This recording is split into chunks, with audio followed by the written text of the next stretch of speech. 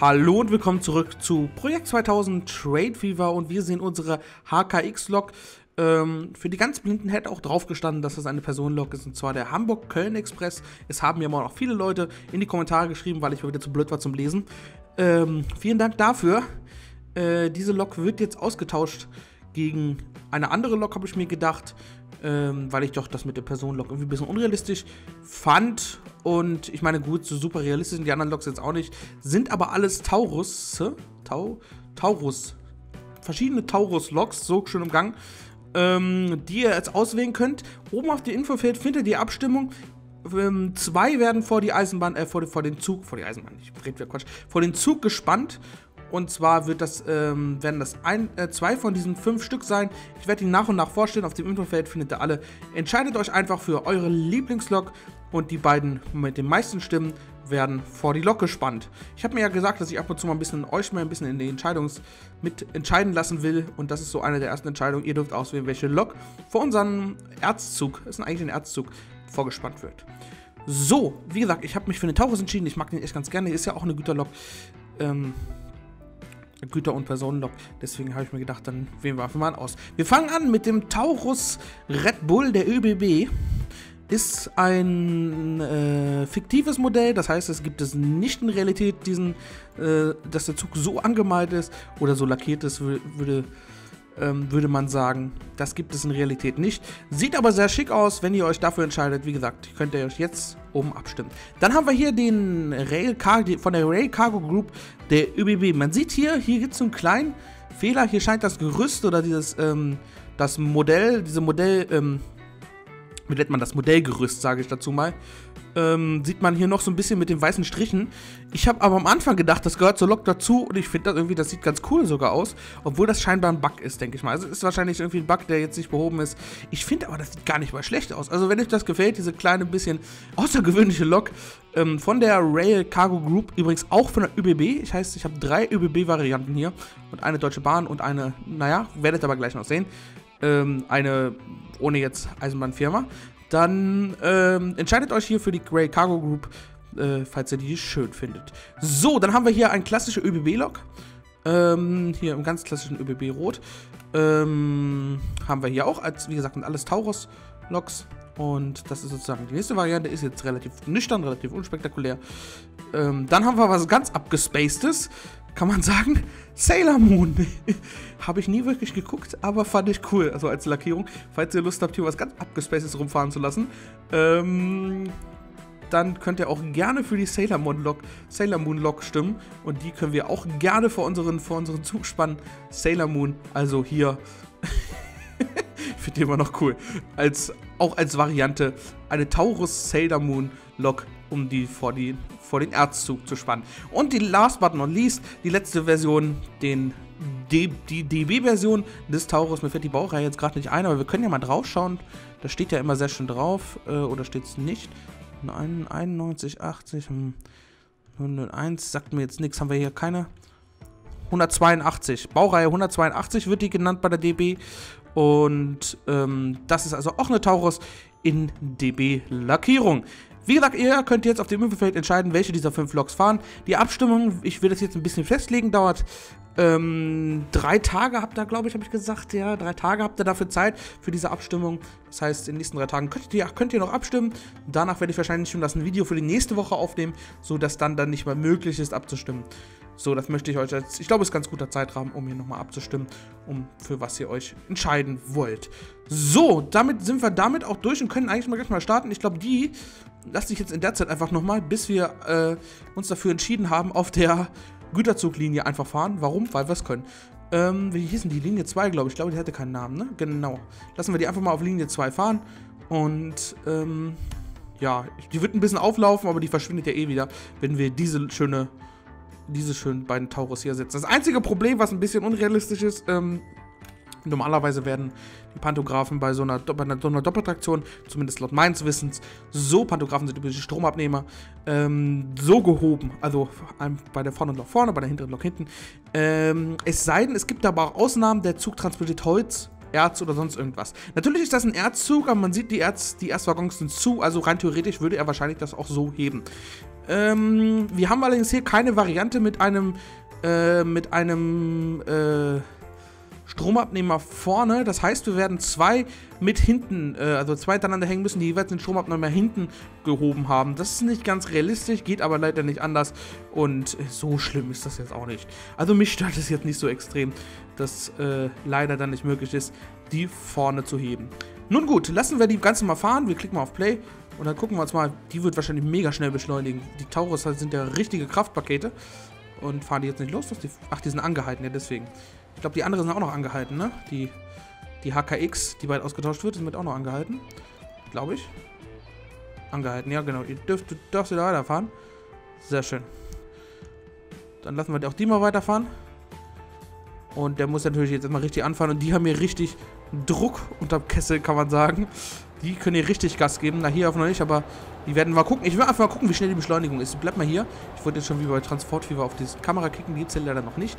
Wäre schön, wenn wir die so als Mod hier auch einfügen würde in Train Fever, aber hm, ich, wie gesagt, äh, man sollte sich nicht darüber beschweren, was es für Mods nicht gibt, wenn man selber nicht moddet.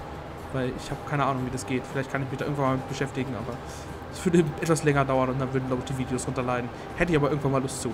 So, ähm, wir sehen hier mal, guck mal, guckt euch die Beschleunigung an. Wo jetzt hat er grad, kann er gerade nicht beschleunigen. Jetzt gerade auf gleicher geraden Strecke, wenn alle fünf unten sind, müsste er richtig abgehen. Ja, guckt euch das an, wie der hier einfach hochbeschleunigt. Oh, ist das ein geiles Bild. Der TGW. Oh, ist das geil. Der TGW, unser Erzzug und die fünf Taurus hintereinander. Taurus Loks, so, damit es grammatikalisch richtig ist, hintereinander sind, sind, fahren nebeneinander. Das sah schon cool aus. Das sah echt cool aus. Und, ähm, ja, ich hoffe, es ich glaube, es gefällt euch, dass ich mir ab und zu mal jetzt mal ein bisschen euch frage. Das finde ich ganz schön, diese Abstimmung. Und da ich in letzter Zeit gemerkt habe, bei den Abstimmungen wird auch teilgenommen. Das heißt, ich äh, kriege auch Rückmeldungen und beziehungsweise ihr klickt auch auf die Abstimmung, wollte ich das vielleicht auch mal öfter machen. Wie gesagt, das finde ich echt eine schöne Eigenschaft, euch auch ein bisschen einfließen zu lassen, dass ihr so ein bisschen hier drin auch Einfluss habt. So, ähm, was wollte ich äh, noch tun? Ja, ich wollte äh, die S-Bahn bauen in dieser Folge. Eine weitere S-Bahn-Linie. Ich überlege, soll das eine S-Bahn oder eine Regionalbahnlinie sein? Das werde ich mich noch entscheiden. Und zwar werde ich von, die von hier von Heilig... King's Landing ist das nicht Heilig King's Landing über Minas Tirith, dann hier einmal hinten den Bogen und dann zum anderen Bahnhof. Und dann soll die hier hinten hinfahren nach Weißlauf. Ich denke, ich werde das als die als auch als S-Bahn nehmen. Mal gucken, ob ich da auch den. Ich werde mir gleich mal gucken, ob ich eine schönere finde. Oder eine andere finde als die, die, äh, die Mitteldeutschland. Übrigens, die S-Bahn Mitteldeutschland, da habe ich mich auch noch ein bisschen drüber informiert. Die fährt ja in Leipzig und so. Also die fährt ja in Leipzig, Halle, bis Cottbus, keine Ahnung, wo die überall rumfährt. Cottbus glaube ich gar nicht mal. Ich glaube, Leipzig, Halle fährt sie auf jeden Fall. Und ähm, bis Dresden fährt die, glaube ich, auch. Ich weiß es gar nicht. Die hat auf jeden Fall ein Riesennetz für eine S-Bahn. Die S-Bahn Mitteldeutschland. Und ähm, ja. Wir wollen jetzt allerdings hier mal an, weiterbauen. Die neue S-Bahn-Strecke sozusagen. Und dann werden wir vielleicht in dieser Folge auch noch schaffen, äh, Weißwasser endlich mal anzufangen auszubauen. Äh, mal gucken, wie weit wir kommen. Das werden wir sehen. Notfalls dann in der nächsten Folge. Wir haben ja Zeit, wie gesagt. Wir sind ja jetzt schon. Pff, wir gehen schon auf die 70 zu, also mit den Folgen.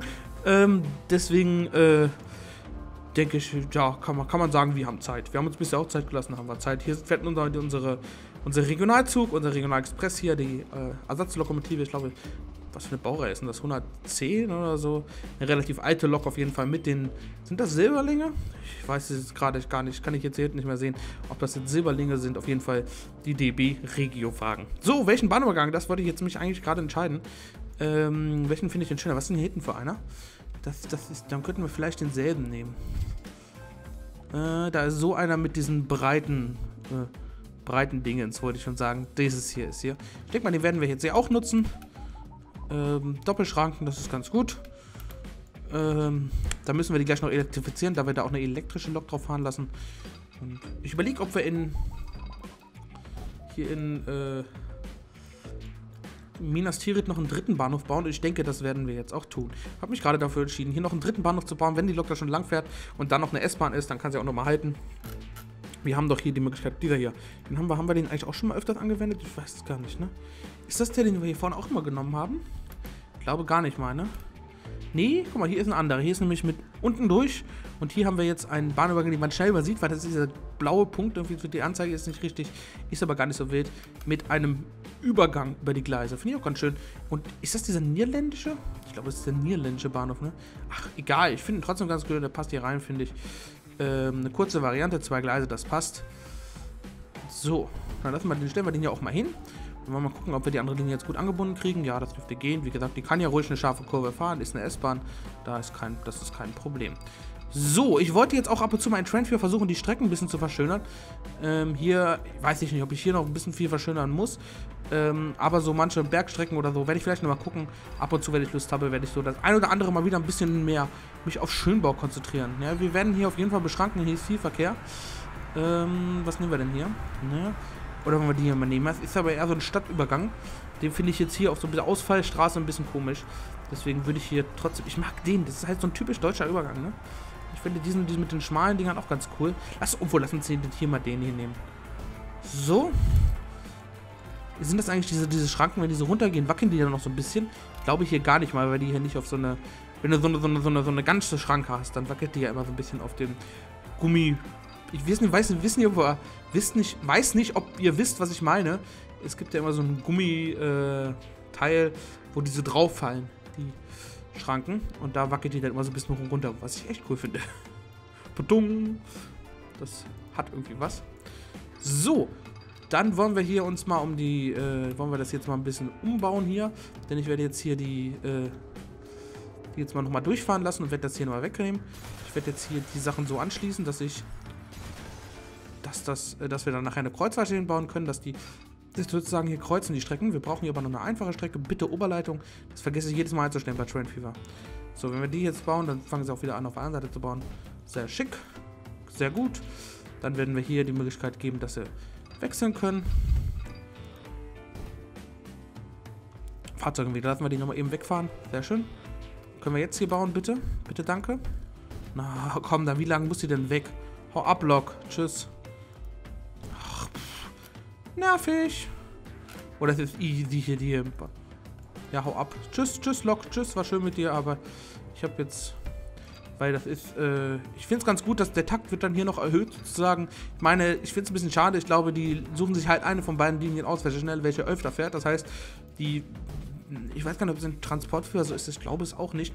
Da suchen die Loks ja auch, äh, suchen die sich ja da auch nicht einfach irgendeine Lok aus oder irgendeinen Zug, der ähm, dann auch in die Richtung fährt, sondern sie, meistens wählen sie dann, glaube ich, die, ähm, wählen sie eine von beiden Strecken aus, die schneller fährt und warten dann da, auch wenn jetzt ein anderer Zug in den Bahnhof einfahren sollte, der zum selben Ziel fährt. Was ich wirklich ein bisschen schade finde.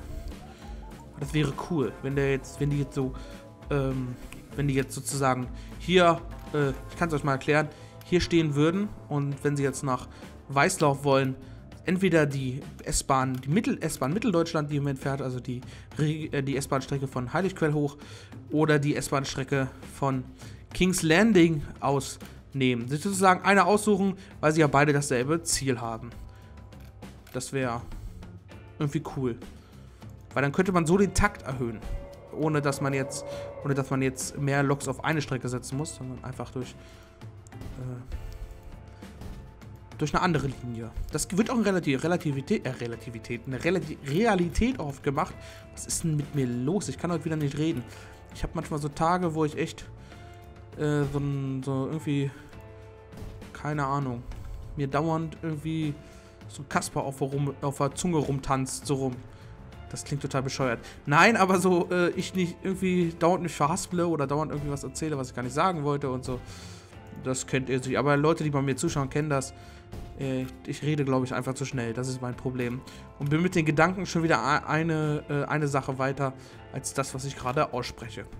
So, damit haben wir diese unsere kleine äh, S-Bahn-Strecke auch schon fertig, kann man sagen. Dann lass uns die auch mal einweihen und gucken, welche Loks wir nehmen. Ich überlege wirklich, ob ich hier auch nochmal die S-Bahn Mitteldeutschland nehme, aber ich glaube, ich würde hier nochmal eine andere Lok nehmen. Wir gucken mal, was wir haben. Wir gucken mal, was wir haben. Ich glaube, wir haben eher so diese Loks, ne? aber ich würde das schon das ganze, lang, ganze Strecke auch elektrifiziert ist, eine Elektrolok nehmen. Wie gesagt, einfach mal schauen, was uns ermöglicht, was unser großer Fuhrpark ermöglicht. Hier steht übrigens gerade auch ein schöner Intercity im Bahnhof, wie man die immer wieder sieht. Und hinten die S-Bahn. Ich liebe diesen Bahnhof hier in King's Landing. Der ist echt cool. Ähm, und äh, wie gesagt, eine Lok kommt auf jeden Fall noch dazu. Wie gesagt, die zweite jetzt auch noch. Die Triebwagen, also die S-Bahn-Strecke, die kommt jetzt auch noch dazu. Und die andere Strecke, ähm, eine Fernverkehrsstrecke wird da auch noch rüberführen. Also da wird der Verkehr sogar noch ein bisschen zunehmen. Dann müssen wir gucken, wie gut das da läuft. So. Dann schauen wir mal. Wir könnten jetzt, die haben wir ja schon genommen, die ist ja unsere S1, unsere Supercity S-Bahn sozusagen. Dann haben wir hier diese Triebwagen, die ich eigentlich nicht nehmen wollte. Ich will jetzt auch elektrische Triebwagen aus. ÖBB CityJet, ja schön, aber ÖBB wollte ich hier, obwohl, wir könnten hier auch ÖBB fahren lassen. Das Weißwasser, Weißlauf ist ja schon sozusagen eine österreichische Anführungszeichen Stadt, weil ich wollte ja Weißwasser, Weiß nicht und Weißlauf so die österreichischen Schweizer Züge nehmen. Ich glaube, wir nehmen hier eine österreichische Österreicher Lok. Österreichische? Keine Ahnung, ich kann kein Deutsch. Österreicher Lok. Vielleicht nehmen wir sogar dieselbe, die wir auch in, äh, die wir auch in Transportviva nehmen werden, vermutlich, weil die Abstimmung äh, sehr, sehr wahrscheinlich ist, dass hier der die ÖBB 4 4042 nimmt, statt den roten Pfeil, also eine Abstimmung in Transportfieber. Und die könnten wir hier auch nehmen. Die würde sich jetzt hier als S-Bahn auch ganz gut anbieten, denke ich. Aber ich schau mal, was wir noch haben. Ich schau mal eben, vielleicht finden wir ja noch was Schönes. Entweder österreichisch oder deutsch oder schweizerisch, ist eigentlich relativ egal. Hm. Was haben wir hier? Was haben wir hier? Ja, die würde... Das hier ist ein Talent der Moseltalbahn. Sowas vielleicht. So ein, so ein anderer Talent. Das andere, glaube ich, ist... Nee, ist auch ein Talent 2, ne? Das ist ja auch eine Hamsterbacke. Talent 2 sind ja Hamsterbacken. Haben wir ja schon. Lass uns mal gucken, ob wir noch was anderes finden. Das sind halt die Talentzüge hier. Da fährt hinten fährt die S-Bahn. Ähm, Mittelhessen. Ja, aber noch ein Talent da, zwei darauf zu stellen, auch wenn er anders lackiert ist, finde ich irgendwie doof. Vielleicht kriegen wir noch was anderes hin. Ich, wollen wir den nehmen? Ist der Herr so ein, so, ein, so, ein, so ein Pendelzug, ja, so eine Regionalbahn. Könnte man aber auch als S-Bahn nehmen. Mal gucken, ob die auch im S-Bahn-Betrieb eingesetzt wurde. Ähm. SBB, sie wurden für Pendelzugbetrieb mit der R-Doppelstockwagen als. Hm. Kann man die im S-Bahn-Betrieb nehmen? Also als Doppelstock S-Bahn, glaube ich, ist sogar ganz cool. Ähm. Wäre, glaube ich, gar nicht so wild. 84 Leute, das passt doch, die sind nicht zu. Obwohl, wie lang ist denn die? Das wäre natürlich sinnvoll zu wissen, wie lang die ist. Steht das hier nicht dabei? Das ist doof. Ich schau mal eben, ob das hier dabei steht. Weil wenn der jetzt zu lang ist und dann nicht in den Bahnhof passt, ist er auch doof, ne? Ach, da steht nur bei Trans... Aber komm, das, sind, das, das müsste da reinpassen in den Bahnhof. Ja, ich glaube, das passt. Drei, drei Stück müsste erstmal reichen. Ich glaube, vier wären schon fast wieder zu viel, meiner Meinung nach. Obwohl es eine S-Bahn-Strecke ist. Ähm, ich weiß nicht, ob es realistisch ist, da eine S-Bahn rauszumachen. Für die Schweizer Kollegen, das ist ja eine Schweizer Lok. Ähm, falls ihr die kennt, die ich gerade ausgewählt habe. Ich muss mal gucken, welche das ist. Ähm, SZU. Schweizer Zugunternehmen? Das würde ja Sinn ergeben. Es scheint eine Privatbahn zu sein, ist aber gar nicht so wild. Ähm, können wir, können wir glaube ich auch dafür nehmen. Ich glaube, dann fährt sie halt bei uns als S-Bahn oder als Regionalbahn. Mal gucken. So, ist aber so als manche, wie gesagt, in Deutschland gibt es manchmal auch, zum Beispiel, ich hatte jetzt, ich habe jetzt gerade das Beispiel Leipzig im Kopf, ich, weil ich ab und zu mal vor kurzem ich da irgendwie so ein Video von gesehen habe, Train, entweder im Train Simulator oder auch in Realität vom äh, City Tunnel in Leipzig, beziehungsweise vom äh, insgesamt so ein bisschen über den Leipzig, Leipziger Zugverkehr. Dort fährt ja auch der Taurus unter anderem mit äh, Doppelstockwagen als S-Bahn was auch außergewöhnlich ist. So, ähm, dann wollen wir zurück auf dem Weg auch wieder die ganzen Bahnstier hinzufügen. Dann kommt der wieder dazu. Hallo?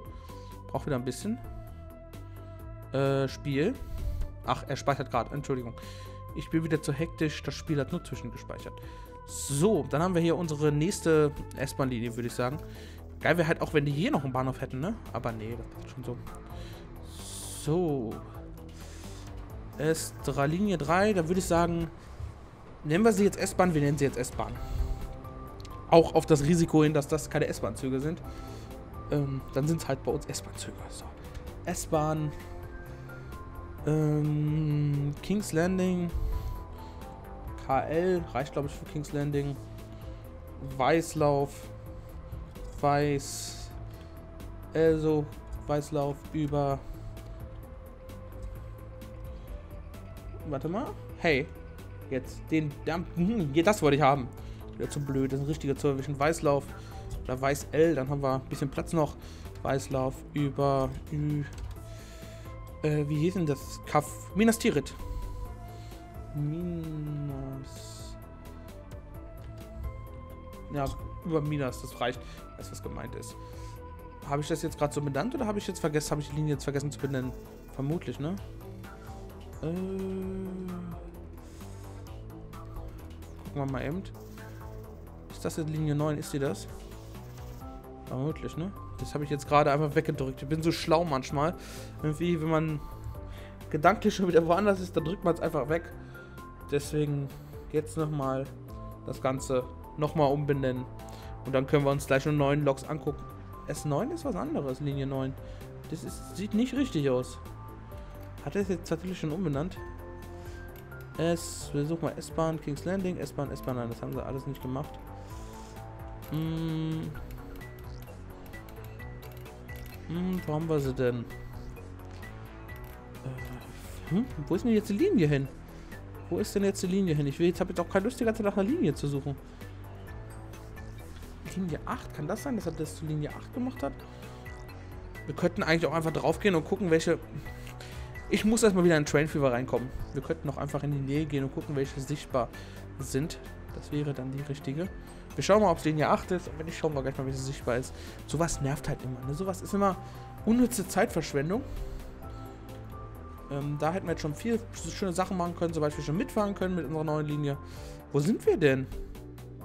Wie zur Hölle bin ich nach Super City gekommen? Egal. Wir gehen wieder zurück. Und schauen jetzt mal, wie, wie die Linie heißt. So. Nur sichtbare, bitte.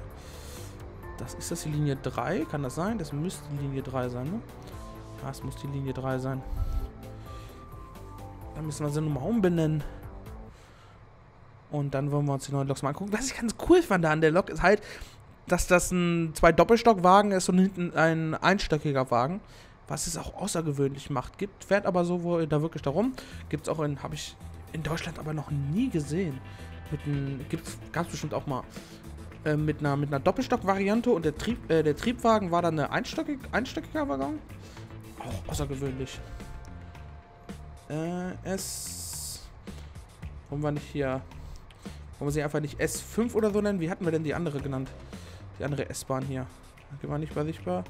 Nicht nur sichtbar, mal gucken. S4 oder S5, wo sind wir denn jetzt? Ähm. S2 ist das, S-Bahn-Linie Kings Landing, S-Bahn-Linie 4. Ach, das ist S4, dann machen wir da S5 raus. S5, äh, Kings Landing, äh, nach äh, Weißlauf. Weiß. Äh. Ü. Minas. So. Ich glaube, meine Abkürzung kennt auch keiner. Doch, ich kenne sie. So, dann wollen wir die Linie mal hinzufügen. Oder beziehungsweise die mal auf der Linie fahren lassen. Da. Das ist unsere neue Linie.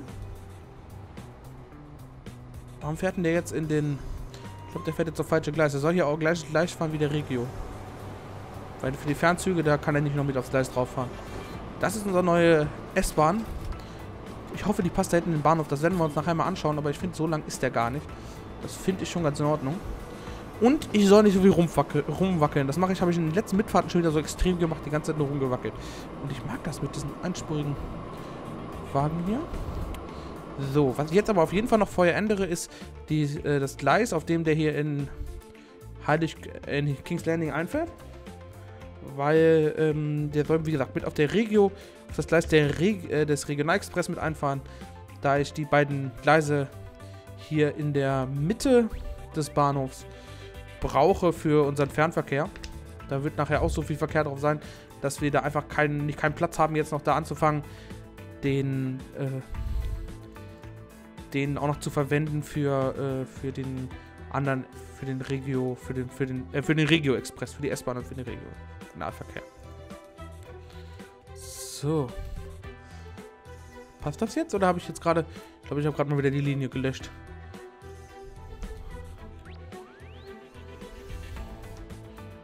Minas Tirith Ost, das müsste doch der hier sein, ne? Minas Tirith Ost. Ja, das ist der, genau. Äh, dann würde ich den ganz gerne hier hinzufügen. Warum wird denn die Linie nicht angezeigt? Hm. Hm? hm. Was ist denn jetzt schon wieder los? Vorhin wurde sie doch die ganze Zeit angezeigt. Ja, müssen wir nochmal... Oh, warte mal, ich entferne nochmal alle. So, da. Das ist halt immer ein bisschen doof. Ich will jetzt auch gleich mal meine Wildfahrt machen und dann will ich gleich auch noch irgendwas schaffen und die Folge ist schon wieder vorbei. Ja, doof.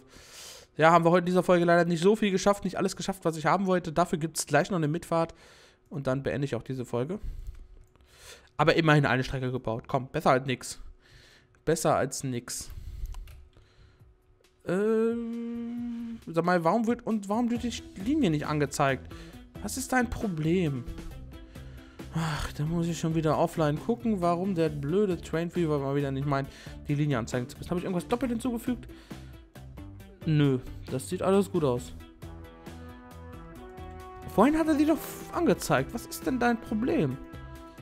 Hat irgendwie Bahnhof keinen Strom oder so? Das kann ich mir ja noch vorstellen, dass hier der Strom fehlt. Ne, hier ist Strom drin. Okay. Irgendwie vergessen von hier zu stromisieren, hier Strom hinzuzufügen. Wir schauen mal, wir machen die Mitfahrt und schauen mal, ob der mit, ob der fährt. Dann werde ich mich sonst noch mal gucken, warum der nicht fährt. So. Ach, der fährt. Sehr schön. Da machen wir jetzt die Mitfahrt. Wie heißt denn diese Bahn? Schintal. Schintalbahn. Okay. Schil. Sil. Sil. Wie komme ich schon auf Schild? SCH, ja. Wo ist denn das SCH? Sieltalbahn. So, dann wollen wir mal die Fahrgäste begrüßen. Sehr geehrte Fahrgäste, willkommen in der Sieltalbahn als S-Bahn S5 nach, nach Weißlauf über Minas Tirith Hauptbahnhof und Minas Tirith Westbahnhof.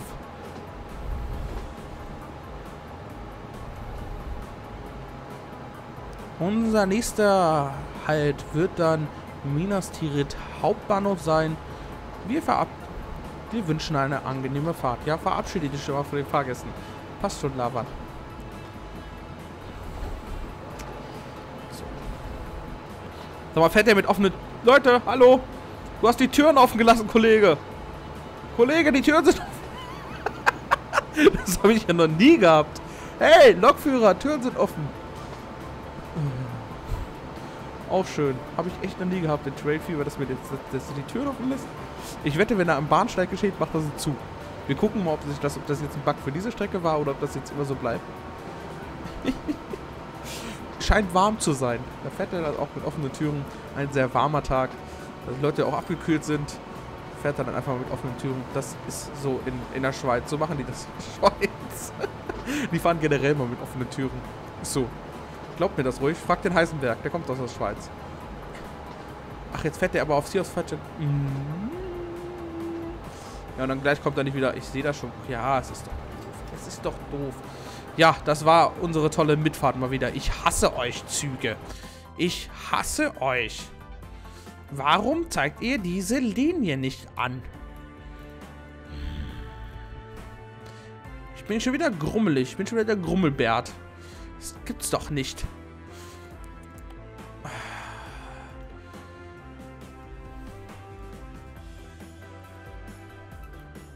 Das kann doch... Warum...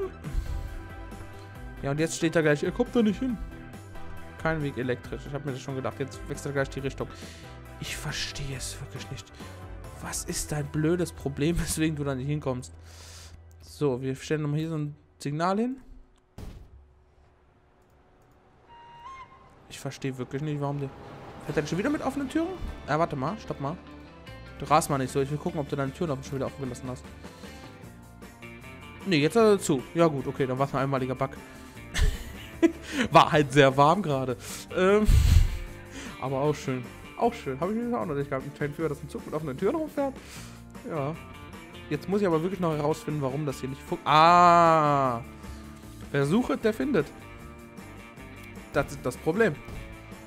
Deswegen er die Linie nicht anzeigt. Ja, siehst du, jetzt geht's. Gut. Ähm, dann verschieben wir die Mitfahrt einfach auf nächste Folge. Obwohl, das ist auch doof, ne? Nein, komm, wir machen die Mitfahrt jetzt nochmal. Dann fahren wir halt das Stück nochmal. Ja, ich kann mich wieder nicht entscheiden. Da ist unsere Bahn. Ich muss jetzt natürlich dauernd warten auf die anderen. Ja, klasse. Warte mal, da muss ich da vorne noch wieder die Loks drehen. Hm, störungsfreie Mitfahrt. Habe ich das schon mal erwähnt, dass ich das ganz gerne mal irgendwann hätte? Das ist so ein Wunschtraum von mir. Das ist so... Du kannst auch schon mal drehen. Du fährst eh in die falsche Richtung, Kollege. Dreh einfach schon mal. Jetzt hält der hier. Ernsthaft. Und der kommt wahrscheinlich jetzt nicht... Doch, das ist der, der Schweizer Zug. Dann nehmen wir den jetzt und fahren mit dem mit. Sehr geehrte Damen und Herren, in wenigen Minuten erreichen wir Minas Tirith Hauptbahnhof. Sie haben Anschluss an einen Regionalexpress nach Heiligquell Flughafen über Erotin.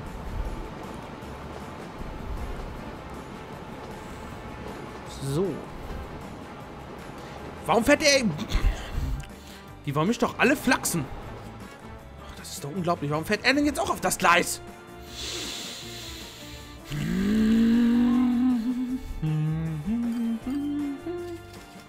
Jetzt fährt er los. Ja gut, egal. Dann weißt du, was wir jetzt machen? Jetzt darfst du nochmal drehen. So, und jetzt weißt du, glaube ich, welche Leistung benutzen sollst, ne? Sehr schön, sehr gut. Und dann halten wir jetzt. Dann können wir gleich mal mit weiterfahren. Hm, machen wir 36 Minuten. 40 Minuten ist egal. Wir haben ja Zeit. So. Der Bahnhof ist aber auch echt schick mit den Salar. So, Salar. Mit den Solarflächen oben auf dem Bahnhof und so. Hier ist der Forsthof. Die Türen schließen sich, das ist sehr schön. Sehr geehrte Fahrgäste, willkommen in, dem, in der S5 nach Minas Tirith. Ne, nach Weißlauf. Unser nächster Halt wird dann Minas Tirith Südbahnhof sein. Das ist übrigens Quatsch. Wir haben, das, wir haben die Karten voll falsch rum gebaut, weil das ist ja im Süden und wir müssen die ganzen Bahnhöfe mal um. Es ist eigentlich der, Nord der Südbahnhof. Eigentlich ist es echt der Südbahnhof. Vielleicht können die Minas Tirith nicht Norden von Süden oder Zeit unter unterscheiden. So. Wie gesagt, Benennungsfolge. Könnte ich eigentlich machen, ne? Das wäre... Ich kündige jetzt schon mal die Benennungsfolge an. Das wird die 75. Folge werden. Als Special-Folge wird in der 75. Folge die Benennungsfolge kommen. Das hatte ich ja schon lange vor. Und ihr dürft jetzt in den nächsten Videos, in diesem Video, im nächsten Video werde ich es auch nochmal ganz am Anfang sagen, schon mal in die Kommentare schreiben, was ihr so für Namen habt. Für alle möglichen Dinge auf dieser Karte. Und ähm, dann werden wir einfach